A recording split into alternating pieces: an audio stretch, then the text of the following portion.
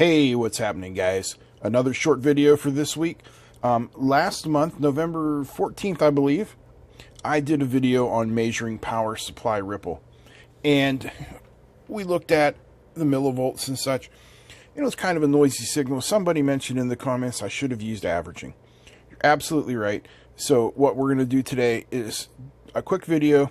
We're going to take a look at this little cheap buck converter here. Let me turn it on. And let's go up and have a look at the scope.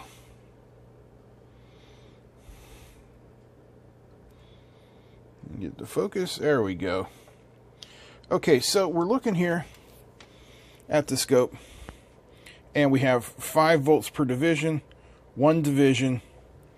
So we are looking at what looks like a pretty linear power supply. But what we need to do is make a couple of adjustments to our scope.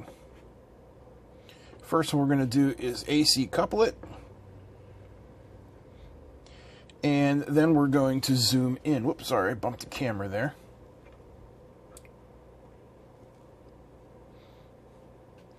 So now when we zoom in, things don't look quite so neat.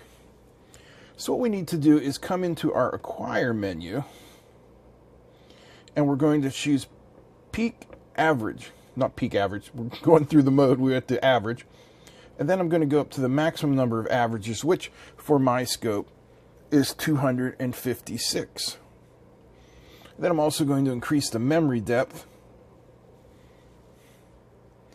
And that's going to give us a nice average. Whoops, let's go up here. There we go. So now we're looking at a nice average of this power supply. And we can zoom in even more.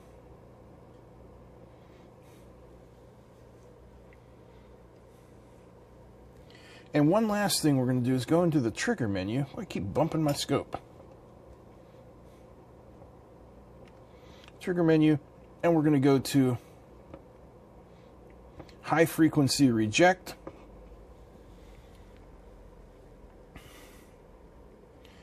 And we'll let this settle down here a little bit.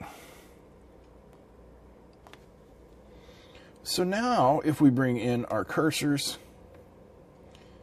and select our cursor for voltage, we select our starting cursor and we put it on the bottom there and our ending cursor and we put it on the top. You can look here now and see that we have 560 microvolts.